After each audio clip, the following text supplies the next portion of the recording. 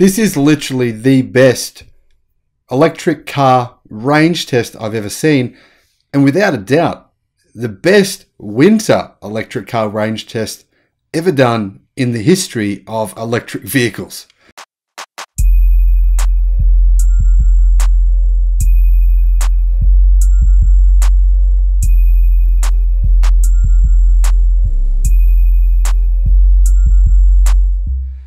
Hello, my friends, and welcome to the channel. I'm the Electric Viking. Great to see you. Boy, this was such an exciting read. I spent, I don't know, two hours reading through this article. Two hours, you're thinking, why would it take you two hours to read an article? Well, it's got a bunch of links to every single car on the reviews they did for every car. Interestingly, this is really the best reviews I've seen for Chinese electric cars, as well, alongside when compared to, directly compared to their competition from Tesla, from European car manufacturers, from Volkswagen, from South Korean manufacturers, from Kia, from Hyundai, from Skoda, BMW, Audi, Xpeng, NIO, BYD, Polestar, Cupra, Porsche, you name it. The vehicle is in this test. Now, yeah, there's lots of Chinese EVs that are not in it, but there's a few that are. And those include some of the most interesting electric cars, which are probably going to be available, well, wherever you are Europe, Australia, the US, within the next couple of years. Why? Well, because the brands that are selling them have said that they will be, and obviously they're already selling right now in Norway. Now, did you know this? The second best selling Chinese car in Norway right now is the BYD Tang. The reason being, it's actually the only seven seat SUV you can buy in Norway. The only one unless you want to buy a van. And apparently the vans are not that great. The reviews I read for the vans from all different brands, including Mercedes and others, they said they're, they're pretty good, but they're not as good as the BYD Tang if you want a seven seat vehicle. In fact, the review for the BYD Tang was unbelievably glowing. I'm going to share it with you in a minute. I was, I was just sort of shocked. I'm like reading, it's so great, it's so great, it's in all these different ways. They basically said the only problem it has is the brand. No one in Norway's ever heard of it except for those of you watching the Electric Viking, of course. Now, here were the winners of this test. Not really fair to say winners and losers because they're all different cars. I mean, different cars, different prices, etc., etc. But it is interesting to see that Tesla still reigns when it comes to efficiency. They clearly have had the best efficiency in these tests. Now, Motor.no, which is Norway's premier motor magazine, motoring publication, they've been testing these electric cars every year now for a while. Whatever's available, they test it. And there's obviously, you know, more cars available there than any other European country anywhere in the world, except, you know, maybe China has more EVs. Well, for sure they do. But other than that, outside of China, this is the best country to test them in. These guys really know what they're doing. They tested these cars in freezing conditions, in snow, driving on snow, roads covered in snow. And incredibly, you know, there was no one saying these cars can't be driven in the winter. That's what the media wants you to believe. The media wants you to think, oh, no, no, no, electric cars don't work in the winter. Well, these guys said, no, there was no problem. In fact, the range, right? The range, for example, on a Tesla Model 3 was only 15% lower in these freezing temperatures than Tesla's actual quoted range, their actual WLTP quoted range. It was only, it was only 15% less. Unbelievable. You know, all these people online saying, oh, Tesla's ranges are bogus. Or, well, to be honest, this is the second test, the second major test now that I've seen in Norway from two different publications who say that's actually wrong. So, yeah. Now, the car with the closest range that it achieved compared to its WLTP list was the Porsche Taycan 4 Cross Turismo.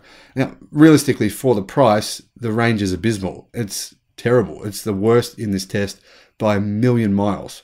But I mean, the, well, the reason for that is efficiency is horrendous. It's 22.4 kilowatt hour, right? 22.4. 22.4. That is so bad that it's the worst on this test. And the thing is, it's nowhere near the biggest car. But, you know, Porsche's quoted figures for the WLTP range is very conservative. So it actually came in within 11%, only 11% down on its quoted numbers. So that was the worst vehicle in test. But actually, I lie. I tell a lie because BYD's Tang actually just beat it on the line. Just beat it.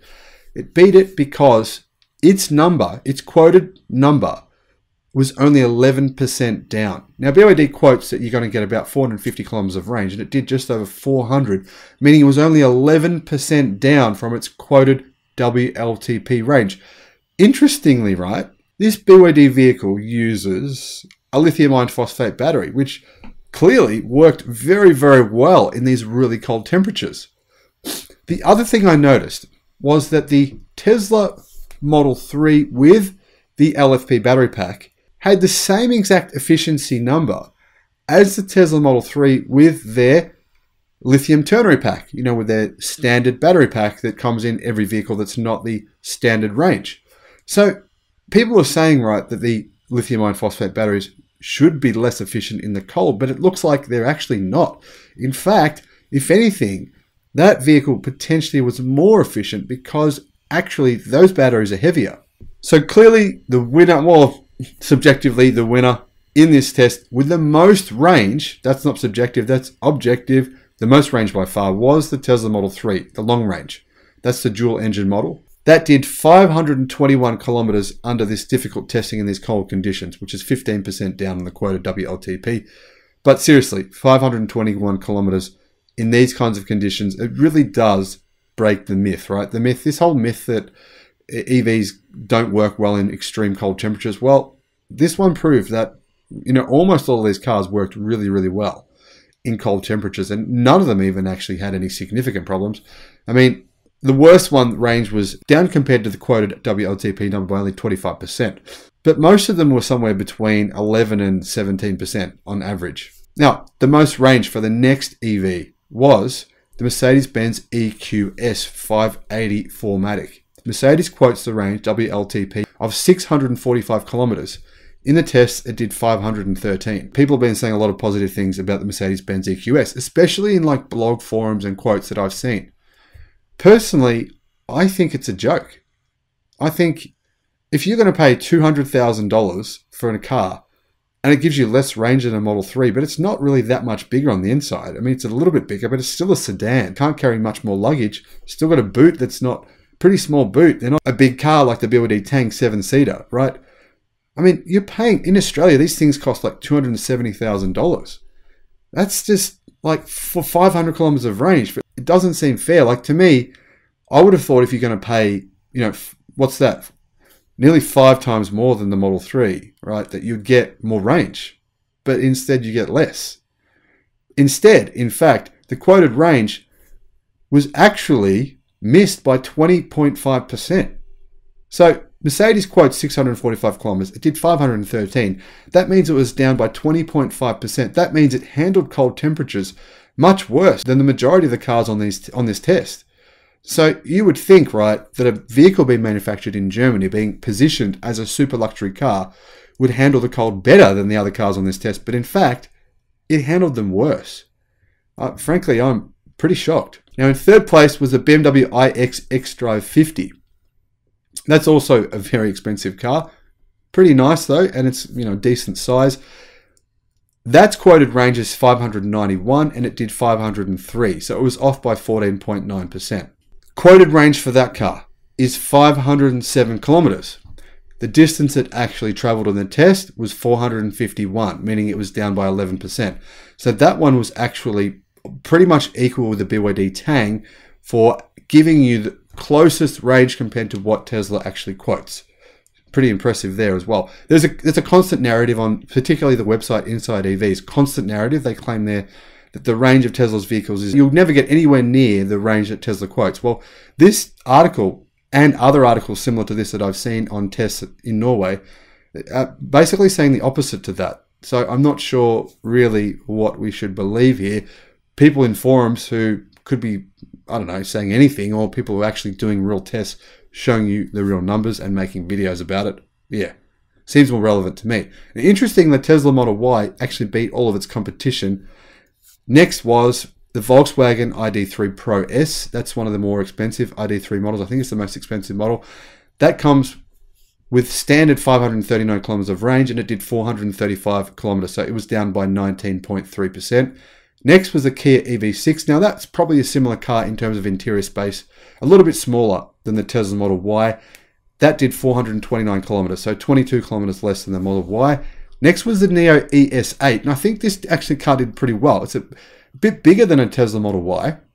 In fact, it's closer in size to the BYD Tang. And that one did 425 kilometers of range. It was only 12.9% down on its claim of 488. Pretty impressive for the NIO ES8. Now, that vehicle, when they reviewed this vehicle independently, they gave it an 8 out of 10, which is a pretty good score. Now, after that was the Kia EV6 four wheel drive. That one did 423 kilometers. So it was only down in range by 6 kilometers versus the two wheel drive. I don't know why that was. It's quite interesting because it's obviously quite a lot heavier carrying that extra motor. Then you've got the Volkswagen ID4 Pro, which did 414 kilometers, followed by the Ioniq 5 two-wheel drive, which did 408 kilometers, so less range than its sister car, very similar car, the Kia EV6. Next was BMW i4 M50, 406 kilometers. Next was Skoda Enyaq, the IV80X. That did 403 kilometers. And then after that, the Porsche Taycan 4 Cross Turismo with 402 kilometers. But one point I should make is this, right? The BYD Tang has a new battery pack. It's been launched in China. So this model they tested here was the old model. The new model has about 150 kilometers more range. So maybe in the real world, 130 kilometers more range. However, that would have meant if they'd tested that model, it would have been up there in the top three easily. Now, I believe, from what I'm hearing, BYD will be replacing this model in Norway with this new model. So it's going to be interesting to see how they perform now.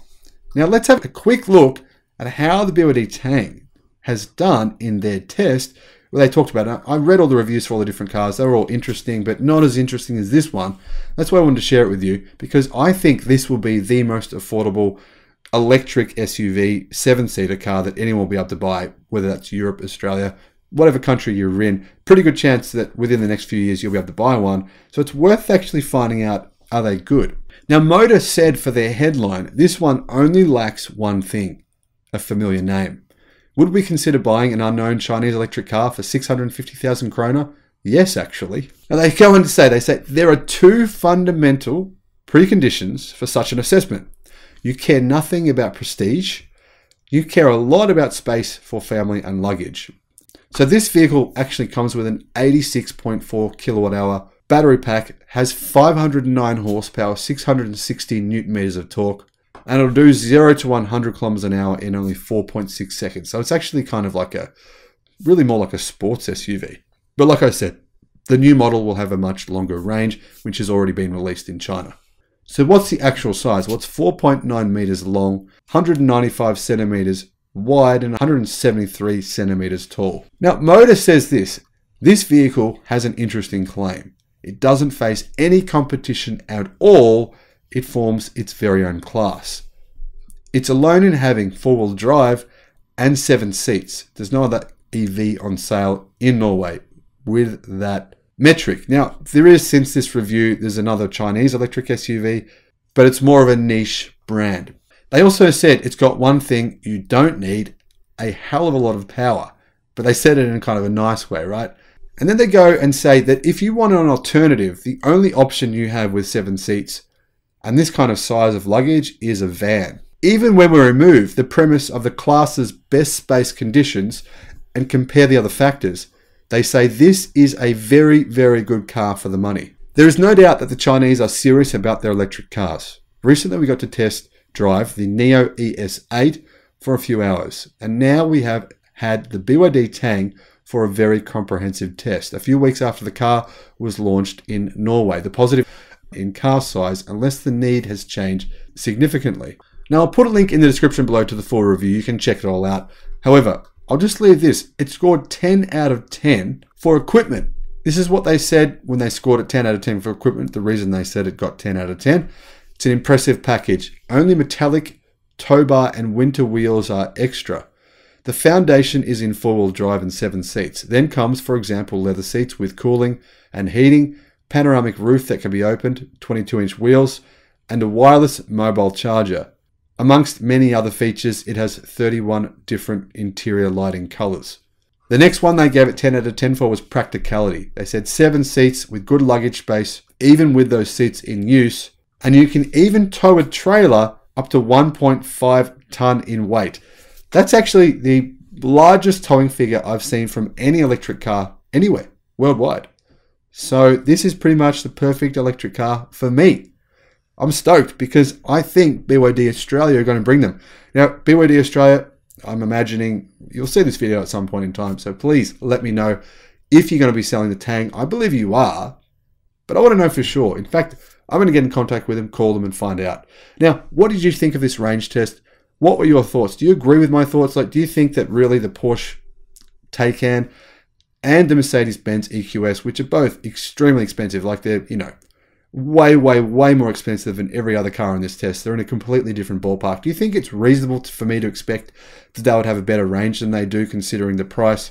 Or am I just being unreasonable? Am I being a hater? Maybe I am. I don't know. I actually like those cars. I just think, come on, I want more range. I want to see more range for the price. I want to see more bang for your buck. Maybe I'm being unfair. Let me know though. Thanks for watching. Bye bye.